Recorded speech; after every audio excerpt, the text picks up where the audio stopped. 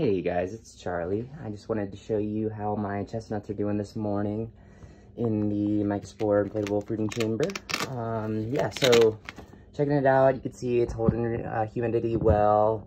Um, for the chestnuts, I noticed that they wanted a little bit more airflow, so I did turn these guys actually, which kind of defeats the purpose for that. But at this point, the, the, the block was fully colonized anyway, so I'm not too worried about any contaminants. But just be aware that you're gonna have to play with the with with the filters in terms of how much air you want to actually passively flow through your chamber, whether that be like cutting it in half to thin this out, or switching it for polyfill, or putting the plastic plugs in, which also come with it.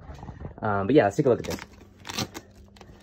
All right, so yeah, these guys are definitely ready to harvest today. So you can see that those caps are about flattened out. So that is, they are, they are prime and ready, ready to pick. So yeah, anyway, that's the that's the fruiting chamber for you. Uh, appreciate you checking us out and appreciate the support.